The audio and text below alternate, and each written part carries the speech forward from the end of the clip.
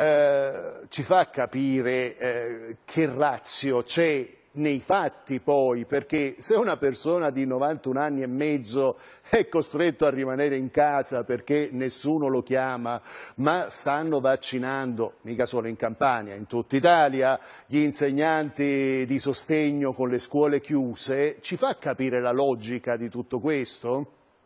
La ringrazio della domanda. Allora, eh, prima di tutto l'agenzia proprio questo sta cercando di fare, anche come il portale trasparenza che lei ha appena fatto vedere, di avere un monitoraggio preciso della situazione che avviene in tutta Italia, eh, regione per regione. Non le sfugge che sono situazioni totalmente differenti. La vaccinazione dell'insegnante, perché la vaccinazione dell'insegnante utilizza i vaccini ad adenovirus, in questo caso parliamo del vaccino AstraZeneca. Quando arriverà il Johnson Johnson potranno essere utilizzati anche quelli del Johnson Johnson. Gli anziani invece vanno vaccinati con un vaccino a mRNA che abbiamo avuto grandi difficoltà di approvvigionamenti col Pfizer, lei ricorderà bene quante volte hanno tagliato le dosi di Pfizer, Moderna peraltro in Italia è arrivata in quantità risibili Uh, diciamo tutto sommato io ho un quadro completo della situazione, le regioni stanno camminando abbastanza invece in maniera uniforme.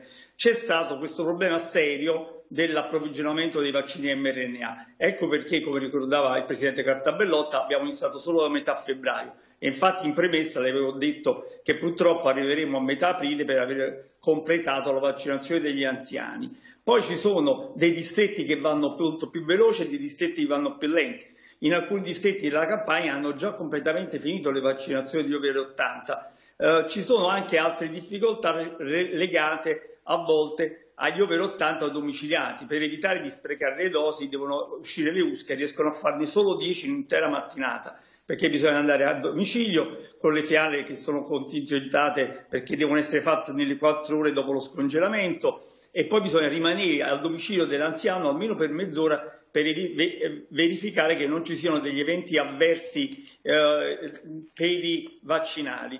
Per cui è una situazione a volte certamente di una certa complessità, però il problema serio è che rispetto a Israele eh, sono totalmente diciamo, in disaccordo con quel dato che la mortalità si sarebbe abbattuta di oltre il 20%, si sarebbe abbattuta se avessimo avuto le, le, le, le, quote di vaccini che ha avuto Israele. Israele ha avuto una capacità di approvvigionarsi di vaccini che l'Unione Europea invece non è riuscita a mettere in campo. Israele ha anche 9 milioni di abitanti e l'Unione Europea ne fa quasi mezzo miliardo.